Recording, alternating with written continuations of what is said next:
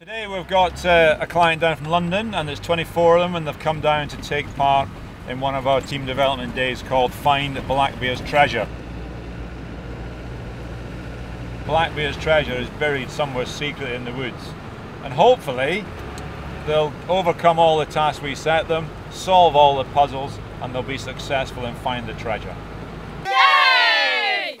In Blackbeard's Treasure, the team building comes under the fact that we have them doing practical tasks as groups of people. We let the team themselves overcome their own difficulties and we will step in as required to help and assist the team.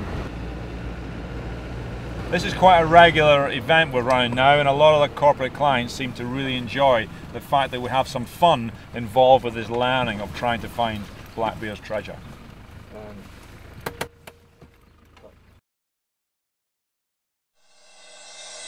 you